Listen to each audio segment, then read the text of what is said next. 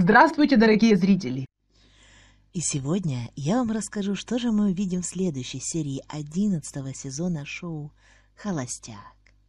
А серия обещает быть действительно горячей. Причем речь идет не только о возрастающем напряжении между девушками, но и довольно страстными свиданиями с холостяком.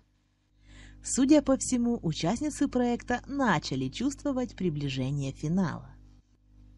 Итак, во что бы то ни стало, решили заполучить расположение холостяка любой ценой. У Михаила будет несколько свиданий, и есть предположение, что одно из них дойдет даже до интимной связи.